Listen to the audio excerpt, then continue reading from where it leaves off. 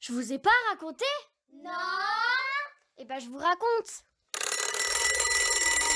Lundi matin, le réveil sonne, direct je me lève. Je fais mon lit et j'ouvre ma fenêtre pour aérer ma chambre.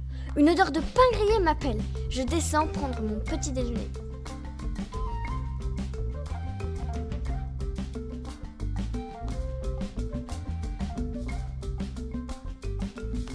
Ce qui s'est réellement passé.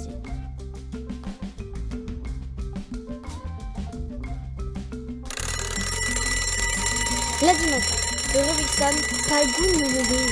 Mais il va pas s'éteindre ce réveil. Je me lève en mode zombie. Ma mère ouvre la fenêtre pour aérer ma chambre, fait mon lit et ramasse mon réveil.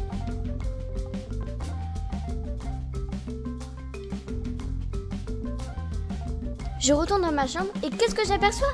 Une araignée. Elle m'a l'air plutôt sympathique. Je m'approche, elle s'approche, elle me regarde, je la regarde, je l'attrape et décide de la remettre dehors. Car elle doit être perdue sans sa famille. Elle doit être triste.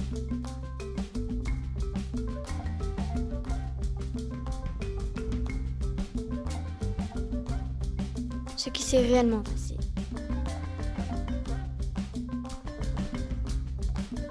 Je retourne dans ma chambre et là, panique, Que je vois Une énorme araignée.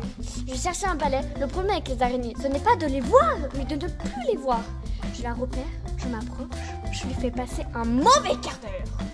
Je vais fermer ma fenêtre. Faudrait pas qu'elle alerte ses copines. Bon, j'avoue, j'ai peur des araignées.